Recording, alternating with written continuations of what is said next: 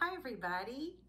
Oh, I love seeing you. I wish I could see you in person in Bible class, but things are a little different right now. I guess you guys aren't going to school, so you can't see your friends there. And maybe even your holiday celebrations have been a little different. But I want us to talk together about how God says that we should handle the different things when things are a little different. In Isaiah chapter 43, verse 10, God has Isaiah tell us. He says, I am the Lord your God, who takes hold of your right hand and says to you, Do not fear, I will help you. You know, when things are going along like they always do, everything's just normal. In my life, things pretty clear. I can see God working in my life, helping me in my life. It's pretty easy to see that. But when things aren't quite as clear, like now, things are a little different. I know that God is holding my right hand. He says not to be afraid, and He says He'll help me. But I know He's there. It's just not always easy to see Him working in my life. But I know He's there. I know He's there. It's just a little bit harder to see Him. You know what? I'm glad we're together because we're going to talk about Jacob's big family and how there were times in their life when God was helping them, but it was hard for them to see it. You guys remember Jacob lived in Haran with his four wives, Rachel and Leah, and Bilhah and Zilpah. And he had 11 sons at this time Reuben, Simeon, Levi, Judah, Dan, Naphtali, Gad, Asher, Issachar, Zebulun, and Joseph. Well, God came to Jacob in a dream and said, It's time to go home. You need to go back to Canaan. So Jacob packed up everybody and all the animals that he had and his whole household, and he headed back to Canaan. But he wasn't really, really excited. He was afraid. Do you remember why he had left Canaan? He had left Canaan running for his life. He had tricked his twin brother Esau. Now, Jacob, the name means deceiver or trickster, and that's exactly what he'd done. Do you remember? He had tricked Esau out of his birthright. And then he had tricked his father, Isaac, into giving Jacob the oldest son blessing that belonged to Esau. Esau should have gotten two times every of all of the things that the daddy Jacob, daddy Isaac had. But now the blessing went to Jacob, not Esau. He was so mad, he said he was going to kill him. Remember? Remember? That's why Jacob ran away. And now God says, go back. Oh, he heads home. But he was afraid. But you know what? when you can't see it, God is helping him. On the way, the Bible tells us that God's angels met them. Hmm. So they kept going. They get closer. He's still afraid of Esau. I would be. For what he'd done, I would be afraid. So he got a little bit closer and he sent messengers. And he said, Go tell my brother Esau that I've got I've got my own sheep and goats and cows and, and donkeys and camels See, I'm not coming back to take yours, to take the blessing that I should have taken, that I took from you. I, I, I'm coming with my own stuff. Well, the messengers go and they see Esau, but they come back. And he says, Did you see him? And he said, They said, Yeah, but he's coming with 400 men. Mm. Esau thought he's coming and he's still mad. He's going to attack us. He's going to attack me and my family. And so he decided he's going to take everything he has and he divided them into two camps. He said, half of you and the animals go stay over there, and half of you and the animals go stay over there. That way, if Esau comes and attacks, at least one of the groups could be safe and escape. And then after he did that, he prayed to God. He prayed to God. And here's what he says. Here's what he says. We hear, read it in Genesis chapter 35. He says, Dear God, you know what? We read it in chapter 32. He says, O God of my father Abraham, God of my father Isaac, you said to me, Return to your country and to your kindred, that I may do you good. I am not worthy of the least of all the deeds of steadfast love and all the faithfulness that you have shown to your servant. For with only my staff I crossed the Jordan, and now I have become two camps. Please deliver me from the hand of my brother, from the hand of Esau, for I fear him, that he may come and attack me, the mothers and the children. And you said, I will surely do you good and make your offspring as the sand of the sea, which cannot be numbered for multitude. So he told God exactly what he was feeling. He said, I'm afraid. And you said you would bless me. He asked God to help him. Well, then he sent gifts. He sent 400, no, no, 540 animals sheep, goats, camels, cows, cats, donkeys, uh, 540 animals to Esau, trying to appease him. And then he took his family, his wives, and his children, and he went across the stream and he set up camp for them there to keep them safe. He left them and he came back to camp all by himself. And he stayed there that night. During the night, something wonderful happened. The Bible says a man, another time, might have been an angel. You know, we don't know exactly who it was. But it say an angel came into the camp and a man, it says the man, they wrestled, he and Jacob, all night long. All night, neither one won. And just as it was becoming daybreak, the man reached down and grabbed Jacob right at his hip and he pushed it out of joint. Oh. And he looked at him and he says, What's your name? Jacob answered, Jacob. And he said, No, from now your name will be Israel because you have striven, you have fought with God and with man, and you have prevailed. And then Jacob asked that he bless him. The angel, the man did, and then he left. That night, Jacob's name was changed to Israel. And later, God will talk to him about that. But I think his heart was changed a little bit too. We'll talk about that. So that next morning, guess what's happening? Esau's coming with his 400 men. Jacob sees it. He puts all his family behind him, his wives and his daughters, and he walks. Oh, don't you know he was scared? He goes closer to Esau and he bows down to the ground, all the way to the ground. And he goes a little bit further and he bows all the way down to the ground. He goes a little further. He does that seven times before he gets to Esau. Don't you know he was scared? And there came Esau running toward him. And he hugged him. Esau hugged him. And they kissed. And they, oh, don't you know they were glad to see each other? And then Esau said, Who are all these people with you? And Jacob introduced his brother to his wives and his children. And Esau said, what, what are all these animals? What is all of this? Jacob said, Look, I'm giving these to you as a gift. I don't need them. And this is where I think his heart has started to change toward God. He said, God has graciously given me all these things, these children and these animals, these gifts. And I want to give these gifts to you. He finally talked Esau into accepting the gifts. And they were together for a while. And then Esau said it's time for him to go to his home. And Jacob said, Well, I'm going to take a little bit, but then I'll go. But I'll go toward my home in Canaan. And so as he went to Canaan, he went from area to area to area. And where he did, he would build an altar to God. And God told him, I want you to go to Bethel.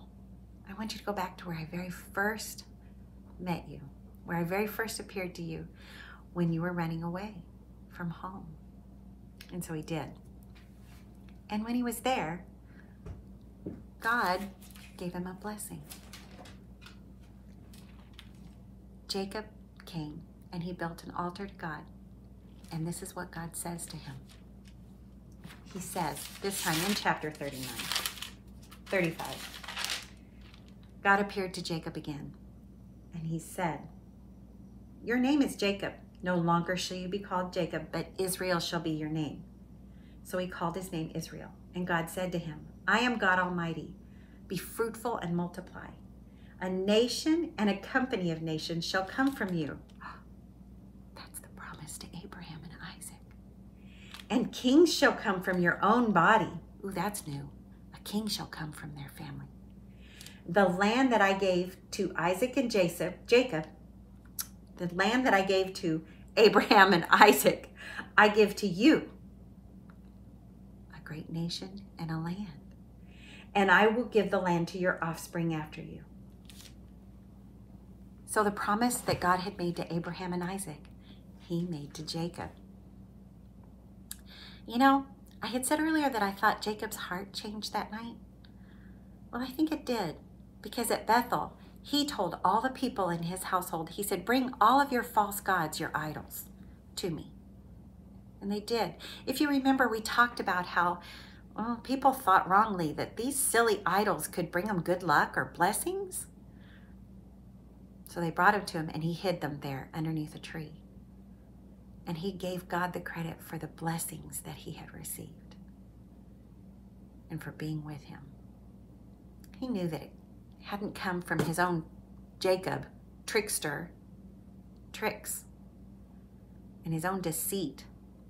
It had come from God's blessing. His heart had changed too. Well, they were in Canaan. They were in Canaan his whole big family. And as they traveled around, Jacob had another son, a 12th son. His mother, Rachel, while she was giving birth to him, she, she died during childbirth. And Jacob named the baby Benjamin. So now there are 12 sons Reuben, Simeon, Levi, Judah, Dan, Naphtali, Gad, Asher, Issachar, Zebulun, and ben, Joseph and Benjamin. But he had 12 sons, but the sons knew that one of them was Daddy Jacob's favorite. It was Joseph. It was Joseph. And they didn't like him. Jacob gave Joseph a very special coat, and it had a lot of colors in it. It was a coat of many colors. The brothers hated Joseph. They were jealous of him. It, the Bible says they couldn't even speak kindly to him. Hmm. Well, Joseph was with the brothers. Let's see, he was with Dan and Naphtali and Gad and Asher one day. And they were taking care of his father's flock. And he came back and he tattled. He told his dad that they weren't doing a good job. Well, that didn't help. They hated him even more. Then Joseph had a dream. Actually, he had two dreams. The dreams made him hate them, hate Joseph even more. First dream, he and his brothers were in the field gathering sheaves, tying them, the stalks of grain. They tied them so they would dry. And he said, All of your sheaves bowed down to mine. What? The brothers said, We're not going to bow down to you. Then he said, All the stars and the moon, the stars, the sun and the moon, hmm, all bow down to my star.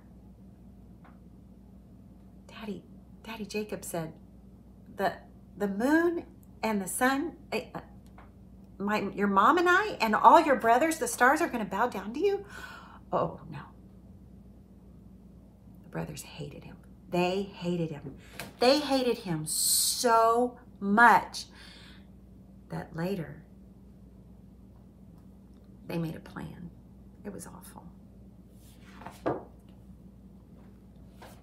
Joseph told his brothers about the plan, about his dreams.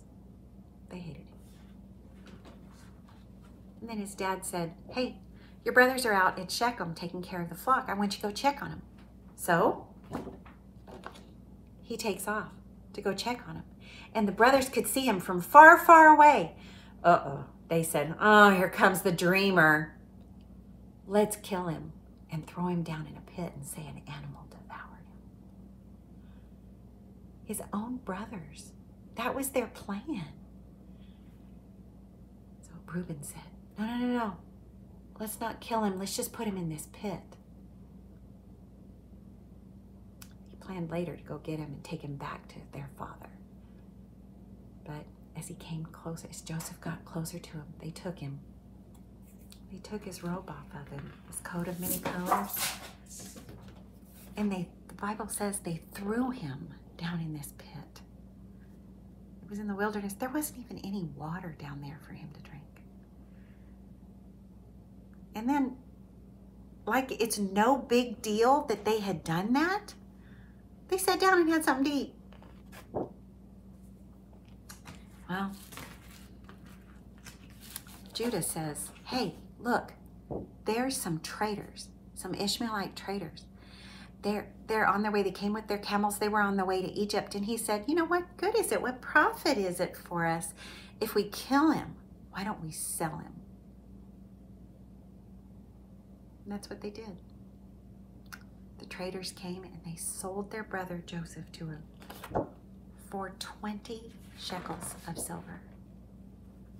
And those traders took Joseph away from his family all the way to Egypt. You know, probably about 250 miles away from where they were. Well, Reuben had planned on saving Joseph. And when he came back and saw him, he said that he was gone. He came back and he said, Where is he? They told him what they'd done. He said, What am I going to do? So they took Joseph's coat that they'd taken off of him, they dipped it in blood, and they took it back to their father and they said, Look what we found. Do you know whose it is? And he said, It's my son's. An animal must have killed him. And he mourned. He was so sad.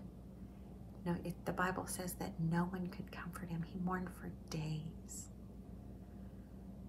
Well, those traders, they did take Joseph. They took him all the way to Egypt. And we got to Egypt. He was sold again. He was sold as a slave to a man named Potiphar.